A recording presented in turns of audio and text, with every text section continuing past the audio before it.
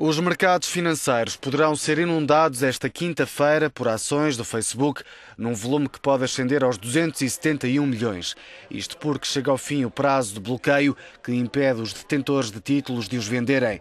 A medida foi imposta quando a entrada da rede social no mercado em maio para prevenir uma circulação excessiva e a subsequente desvalorização. Na altura, a fasquia situou-se nos 38 dólares por unidade mas Mark Zuckerberg viu os valores baixarem progressivamente, caindo para menos de 20 dólares no início deste mês. Por esta razão, a injeção de títulos poderá não acarretar uma queda maior, uma vez que muitos acionistas deverão aguardar novas subidas para os vender.